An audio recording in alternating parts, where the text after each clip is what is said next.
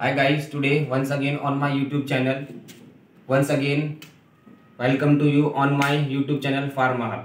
तो गाइज़ आगे बढ़ने से पहले आपको दीपावली की हार्दिक शुभकामनाएँ enjoy and be safe and fire crackers with the safety तो गाइज़ अगर आप हमारे चैनल पर नए हैं तो हमारे चैनल को सब्सक्राइब कीजिए लाइक कीजिए और शेयर कीजिए ताकि आने वाली हर वीडियो का नोटिफिकेशन आपको मिलता रहे तो गाइज़ आज हम बात करेंगे टैबलेट कंपोनेंट्स के बारे में। तो गाइज़ ये टैबलेट टॉपिक का लास्ट लेक्चर है। तो गाइज़ आगे बढ़ने से पहले हम सबसे पहले बात कर लेते हैं थोड़ा लास्ट लेक्चर के बारे में। तो गाइज़ लास्ट लेक्चर में जैसे कि आपको पता है, हमने बात की थी कुछ टाइप्स ऑफ़ टैबलेट की। टाइप्स ऑफ़ टैबलेट में हमने सबसे पहले बात की थी चेबल टैबलेट्स की, फिर हमने उसमें बात की थी सबलिंगुअल और बक्कल टैबलेट्स की, और उसमें बात की थी हमने सपोजिट्रीज की और और इम्प्लांट्स की। तो गाइस सबसे पहले हम जान लेते हैं थोड़ा सा चेबल टैबलेट्स के बारे में। चेबल टैबलेट्स क्या होते हैं? चेबल टैबलेट वो टैबलेट होती है जिनको क्या इंजेक्शन करने से पहले थोड़ा चबाना पड़ता है हमको, दांतों से चबाना पड़ता है। और फिर क्या होता है वो मतलब क्या होता है, थोड़ी चबाने में टेस्ट में स्वीट होती है और जो मैनिटोल होता है, उसका मेन कंपोनेंट होता है जो बेस की तरह उसका हम यूज़ करते हैं। फिर हमने, जैसे उसमें क्या होते हैं, कुछ एंटासिड्स और हमारे मल्टी विटामिन हमारी क्या होती है वो, सब चेबल टैबलेट्स की फॉर्म में अभी आती है। फिर हमने बात की थी उसमें गाइस सब सबलिंगुअल टैबलेट्स की और बात की थी उसमें हमने बकल टैबलेट की। सबलिंगुअल टैबलेट्स क्या होती है? Sublingual tablet are those tablet which are place below the tongue तो उनको हम क्या टंग के नीचे रखते हैं जिनका ज़्यादा वहाँ से डिजोल्यूशन होता है और क्या होता है? फास्ट रिएक्शन आता है। और फिर हमने बात की थी उसमें बक्कल टैबलेट्स की मतलब जो हम गाल के साइड में रख करके उनका हमको यूज़ करते हैं। फिर हमने बात की थी सपोजिट्रीज की। सपोजिट्रीज की सपोजिट्रीज सबसे पहले जान लेते हैं सपोजिट्रीज क्या होती है। Suppositories are the chemical substance which are insert और administered through all the cavity except oral cavity तो उनको क्या कहते हैं, उनको हम सपोजिटरी कहते हैं। फिर हमने इसमें बात की थी पैसरीज की। पैसरीज हम यूज़ करते हैं, जो वेजिनल वेजिनल सपोजिटरी होती है, उनको हम पैसरीज कहते हैं। फिर हमने इसमें बात की थी इम्प्लांट्स की। इम्प्लांट्स क्या होते हैं? इम्प्लांट्स क्या होते हैं? जो हम स्किन में कट लगा करके स्किन के नीचे उनको इंसर्ट करते हैं और फिर बाद में स्टिचेस लगा देते हैं। तो उससे हम क्या? इम्प्लांट्स कहते हैं। और फिर हमने इसमें बात की थी मल्टी लेयर टैबलेट्स की। मल्टी लेयर टैबलेट्स में हमने उसको फर्दर डिवाइड किया था टू पार्ट में लेयर टैबलेट्स में और कंप्रेस कोटेड टैबलेट में। तो लेयर कोटेड टैबलेट्स में हमने ये पढ़ा था कि मतलब जो हमारा एपीआई होता है ड्रग मेन ड्रग कॉन्स्टेंट होता है, उसको क्या करते हैं? और हमारा जो इंग्रेडिएंट होते हैं, वो इधर इनकम्पिटेबल इंग्रेडिएंट होते हैं, उनको क्या करते हैं? सबसे पहले जो इनकम्पिटेबल इंग्रेडिएंट होते हैं, उनको हम क्या करते हैं? उनकी ग्रेन्यूल्स बनाते हैं और हम फिर जो हमारा कोर मटेरियल होता है, उसके ऊपर उसकी लेयरिंग कर देते हैं। तो उसको हम क्या करते हैं? उसको हम लेयर टैबलेट करते हैं। फिर इसमें ऐसे ही बात की थी हमने इसमें कॉम्प्रेस कोटेड टैबलेट की प्रेस कोटेड टैबलेट की। तो प्रेस कोटेड टैबलेट्स में ये होता है कि मतलब जो हमारा एपीआई होता है और जो हमारा इंग्रेडिएंट्स होते हैं, उनको क्या उनके उसके ऊपर बाद में कोटिंग कर देते हैं। तो गाइस इस लेक्चर में हम बात करेंगे टैबलेट्स कंपोनेंट की। तो तो गाइस आइए जानते हैं टैबलेट्स कंपोनेंट के बारे में। टैबलेट्स कंपोनेंट का मतलब होता है कि मतलब टैबलेट्स जो हमने बनाई है, जो हमें फिनिश टैबलेट मिली है आउटपुट मिला है, उस टैबलेट में किस किस चीज़ की हमने मिला करके हमको बनाई है तो उसको क्या कहते हैं? टैबलेटिक कॉम्पोनेंट जिसको हम जिसको हम मिला करके टैबलेट की फॉर्म में हमने उसको तैयार किया है। तो उसको हम कहते हैं कॉम्पोनेंट ऑफ़ टैबलेट मतलब उसमें क्या क्या यूज़ करते हैं। तो आइए जानते हैं Conventional oral tablets for injection usually contain the same classes of component. इसने क्या कहा कि मतलब जो हमारी क्या टैबलेट जिसको हम इंजेक्शन करते हैं यूज़ करते हैं, उसमें क्या करते हैं उसमें कुछ सेम क्लासेस के कंपोनेंट एडेड होते हैं जो हमारे एपीआई के साथ मिला के, जो एक्टिव इंग्रेडिएंट होता है हमारा, उसके साथ मिला करके हम इसको यूज़ करते हैं तो आइए हम गाइस जानते हैं, इसमें जानेंगे हम एक्टिव कॉन्स्टेंट के बारे में जानेंगे बाइंडर्स के बारे में जानेंगे ग्लाइडेंट्स के बारे में जानेंगे और एंटी एडरेंट के बारे में लुब्रिकेंट्स के बारे में कलर्स के बारे में फ्लेवर्स के बारे में और स्वीटिंग एजेंट के बारे में। तो गाइस आइए हम इनको वन बाय वन डिस्कस करते हैं। तो सबसे पहले हम बात करते हैं गाइस एक्टिव कॉन्स्टेंट की। एक्टिव कॉन्स्टेंट क्या होता है? Active constant is a chemical substance which are use as a therapeutical action मतलब क्या होता है? एपीआई जिसको हम एपीआई भी कहते हैं। मतलब एक्टिव फार्मास्यूटिकल इंग्रेडिएंट मतलब उसका क्या काम होता है? जैसे कि हमने क्या, कोई ड्रग ली है, किसी कोई मेडिसिन लिए कोई टैबलेट लिए किसी डिसीज को ठीक करने के लिए। तो जो इस डिसीज को ठीक करने के लिए जो उसका मेन एक्शन होगा, वो क्या होगा? वो एपीआई का ही होगा। उसका, हम क्या कहते हैं, उसका थेरेपेटिकल एक्शन क्या होता है? उसका थेरेपेटिकल एक्शन जो होगा, वो एपीआई का ही होगा। तो इसलिए हम उसको एक्टिव कॉन्स्टेंट कहते हैं। तो गाइस अब नेक्स्ट में हम बात करते हैं बाइंडर्स की। बाइंडर्स क्या होते हैं? बाइंडर्स क्या होते हैं? बाइंडर क्या होते हैं? एक सब्सटेंस होता है जो क्या हम यूज़ करते हैं। Binder are the substance which are which are used either a dry or a liquid form to form the granule, wet granulation and for uh, to increase and compact and compact and increase the cohesiveness and to reduce cohesiveness of the uh, tablet formation तो उसमें क्या है उनको हम binders कहते हैं। For example हमने कुछ यहाँ पे एग्ज़ाम्पल लिखे हैं कुछ बाइंडर्स के। जैसे हम बात करते हैं स्टार्च की बात करते हैं जिलेटिन की बात करते हैं और कीसे की बात करते हैं। तो गाइस नेक्स्ट में हम बात करते हैं ग्लाइडेंस ग्लाइडेंस क्या होते हैं?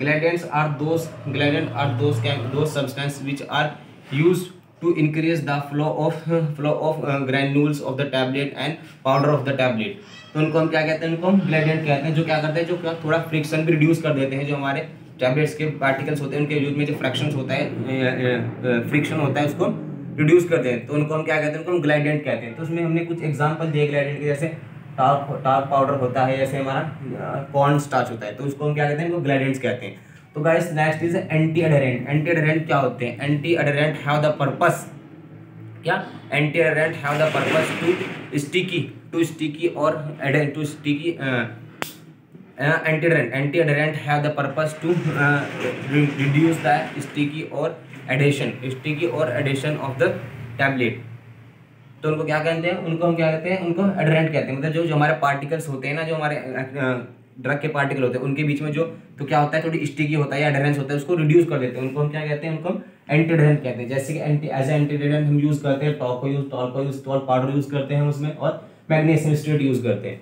तो नेक्स्ट है गाइस लुब्रिकेंट्स लुब्रिकेंट्स क्या होते हैं? लुब्रिकेंट्स क्या होते हैं? लुब्रिकेंट आर दो substance which are intended to reduce the reduce the friction क्या करते हैं? वो फ्रिक्शन को रिड्यूस कर देते हैं between the wall of the tablet and and between the wall of the tablet and wall of the punches and die cavity जिसमें हम क्या जिसमें हम टैबलेट को बनाते हैं, उसको, उसके फ्रिक्शन को रिड्यूस कर देते हैं। फिर बात करते हैं हम कलर्स की।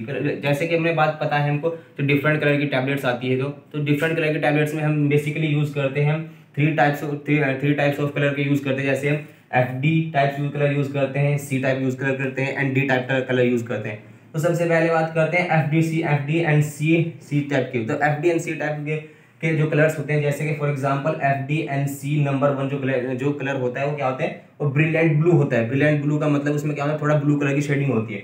फिर जैसे कि नेक्स्ट है F D F D and C number forty जो फोर्टी जो हमारा कलर है, उसका क्या है? वो है एलोरा है वो। एलोरा रेड है, जिसमें क्या थोड़ी रेड कलर की शेडिंग होती है। और फिर बात करते हैं हम F D and C number six तो उसमें क्या है? सनसेट येलो होता है। एंड ऐसे ही बहुत सारे कलर होते हैं जो हम यूज़ टैबलेट के फॉर्मेशन में यूज़ करते हैं। तो गाइस अब नेक्स्ट है फ्लेवर्स फ्लेवर्स में क्या होते हैं? गाइस हम फ्लेवर्स में ज़्यादातर हम जो फ्लेवरिंग ऑयल यूज़ करते हैं, जैसे कि क्या उसकी कितनी कंसनट्रेशन यूज़ करते हैं point five to two point seven five percent जो कंसनट्रेशन है, वो हम वो हम फ्लेवरिंग एजेंट की यूज़ करते हैं। तो guys next last is sweetening agent sweetening agent में हम क्या करते हैं? स्वीटर्स होते हैं स्वीटनेस होते हैं, जो स्वीटनेस मतलब जो जो टैबलेट के जो टेस्ट होते हैं, उसको, जो कड़वा टेस्ट होता है बिटर टेस्ट उसको मास्क करते हैं। उनको हम क्या स्वीटनिंग एजेंट की तरह यूज़ करते हैं, जैसे हम उसमें मैनिटोल यूज़ करते हैं, एस्पार्टेट यूज़ करते हैं एंड सेक्रिन यूज़ करते हैं। तो गाइस अब तक इसमें इतना ही। अब हम देखते हैं तो थोड़ा और आगे देखेंगे, जैसे method of the preparation of the tablet तो गाइस अब हम बात करते हैं मेथड ऑफ़ टैबलेट प्रिपरेशन तो मेथड ऑफ़ टैबलेट प्रिपरेशन में हम बात करेंगे, सबसे पहले सबसे पहले हम बात करेंगे डायरेक्ट कंप्रेशन की, फिर उसमें हम बात करेंगे compression of granulation compression of granulation में हम फर्दर डिवाइड किया है हमने दो पार्ट में इसको जैसे कि बात करते हैं, इसकी वेट बात करेंगे, इसमें ड्राई ग्रेनुलेशन की बात करेंगे और उसमें वेट ग्रेनुलेशन की बात करेंगे। तो आइए जानते हैं गाइस सबसे पहले जानते हैं डायरेक्ट कंप्रेशन के बारे में। तो डायरेक्ट कंप्रेशन में गाइस हम मतलब जो प्रोसेस होती है टैबलेट को मैन्युफैक्चर करने की जो प्रिपरेशन करने की प्रोसेस है उसके बारे में हम डिस्कस करेंगे। जैसे कि सबसे पहले क्या करते हैं उसमें हम ड्रग लेते हैं अपना जो एपीआई होता है फिलर्स लेते हैं डिसइंटीग्रेंट्स लेते हैं लुब्रिकेंट्स लेते हैं और ग्लाइडेंट लेते हैं। तो, तो क्या सबसे पहले बात करते हैं फिलर्स होते क्या हैं? फिलर्स क्या होते हैं? फिलर्स एक सब्सटेंस होता है जो क्या करता है जो मैं, जो हमारे टैबलेट बनाते हैं उसको टैबलेट बनाने में हेल्प करता है। हमारा जो क्या करता है, जो इजीली मैन्युफैक्चर एक्टिव क्या एक्टिव मेडिसिन को इजीली मैन्युफैक्चर करने में हमारी हेल्प करते हैं। तो उनको हम फिलर्स कहते हैं। इसको हम फिलर्स को हम कैप्सूल की प्रिपरेशन में या टैबलेट की प्रिपरेशन में यूज़ करते हैं इसको। तो इसमें क्या कहते हैं? ड्रग्स लेते हैं फिलर्स लेते हैं डिस इंटीग्रेंट डिस क्या होते हैं? ये क्या होते हैं? ये जो हमारी पॉजिटिव स्ट्रेंथ होती है ना उसको क्या करते हैं? उसको इंक्रीज कर देते हैं। तो उनको हम क्या, उनको उनको हम डिसइंटीग्रेट कहते हैं। तो क्या करते हैं? इन सबको हम क्या सबसे पहले लेंगे? सबको लेंगे हम, और क्या करेंगे उसको? एक ब्लेंडिंग में डाल देंगे मतलब ब्लेंड करने सबको मिक्स करने के लिए डालें तो जैसे कि वो ब्लेंडिंग होगा उसको ब्लेंडिंग करने के बाद क्या करेंगे उसको? डायरेक्ट क्या करेंगे मशीन में, पंचिंग मशीन में इसको कंप्रेस कर देंगे। तो हमारी टैबलेट वहाँ से हमें टैबलेट मिल जाएगी।